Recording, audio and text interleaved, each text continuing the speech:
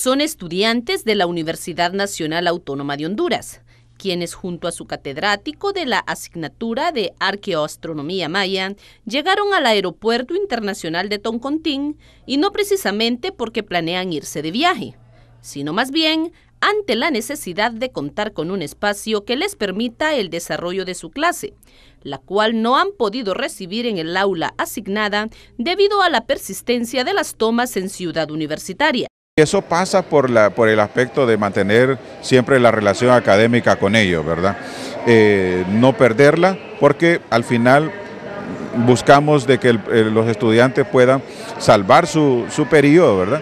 Y eh, no solo con una nota asignada a la carrera, sino que haya un proceso, un proceso que justifica, eh, un proceso académico que justifica esa evaluación que al final le otorgamos al final del periodo. Ahora nos encontramos, me encuentro aquí con mis estudiantes en, el aeropuerto, porque eh, en el aeropuerto de Toncontín, porque aquí hay una réplica, la réplica de la estela A Maya que está en Copán.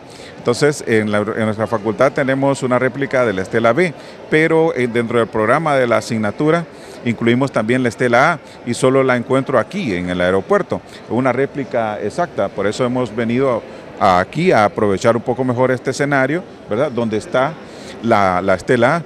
Eh, claro, la universidad hay hay, hay, problemas, hay problemas sí, eh, que ha afectado a la mayoría de las facultades. Marco Antonio Pineda es un catedrático perteneciente a la Facultad de Ciencias Espaciales de la Alma Mater, quien durante las últimas semanas ha impartido el pan del saber en diversos espacios, con la intención de que sus alumnos cumplan con el propósito que los llevó a matricularse en la UNA. Opino que es algo muy favorecedor para nosotros para que no vayamos perdiendo nuestras horas de clase.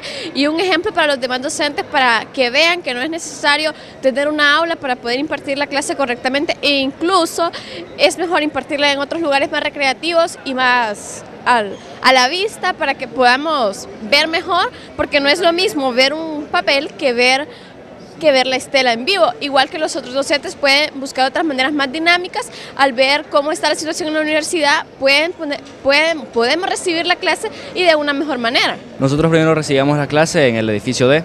Debido a las tomas de este edificio, hemos buscado otro espacio al aire libre y ahí arriba en, el, astronomía, en el K2. Como la clase de nosotros es astronomía maya, eh, las prácticas las teníamos enfrente de la estela, así que no hemos tenido problemas y las clases teóricas que necesitamos presentación y, una, y un aula, las hemos recibido en el aula que está arriba, en, el, en la tolva. Nosotros hemos estado en el, en el K2, en el de astronomía, en la estela D, estudiándola. Luego al terminar de estudiar esa estela nos venimos al aeropuerto a estudiar la estela A. Antes teníamos planeado un viaje a Copan Ruinas, pero debido a la problemática no se pudo desarrollar, así que hemos buscado las réplicas de las estelas aquí en Tegucigalpa para poder movilizarnos.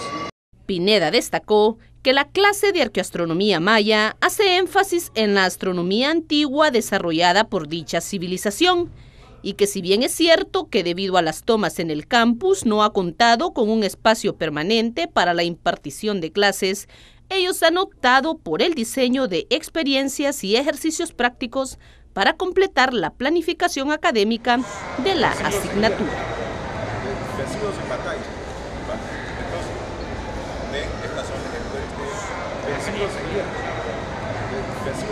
Laura Noelia Díaz, UTV.